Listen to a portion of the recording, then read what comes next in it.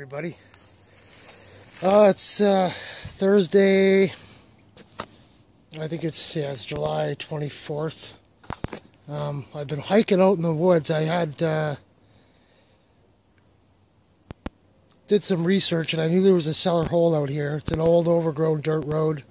It's all full of potholes. I had to walk like an hour to get here. But uh, tromping around for a bit, I knew I was close. And uh, look at these rock walls in the cellar hole.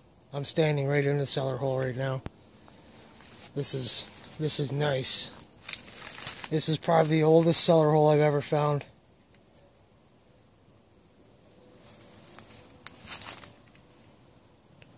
Goes up that way a little bit through there. It's all the walls all caved in down that end.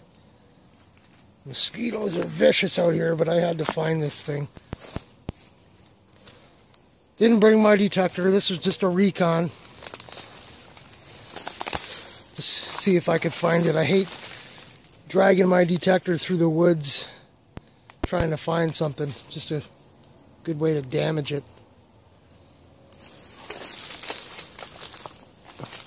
See all the rock. It's caved in.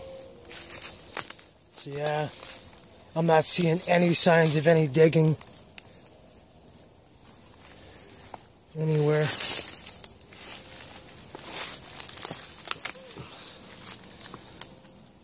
But yeah, man, this is cool. I can't wait to get back here.